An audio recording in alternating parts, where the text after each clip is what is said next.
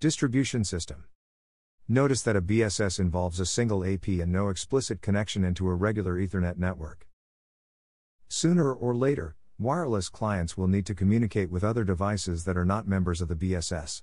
Fortunately, an AP can also uplink into an Ethernet network because it has both wireless and wired capabilities. The 802.11 standard refers to the upstream wired Ethernet as the distribution system, DS, for the wireless BSS. You can think of an AP as a translational bridge, where frames from two dissimilar media, wireless and wired, are translated and then bridged at layer 2. In simple terms, the AP is in charge of mapping a virtual local area network VLAN to an SSID. VLANs are trunked to the AP over the DS. The AP uses the 802.1q tag to map the VLAN numbers to the appropriate SSIDs.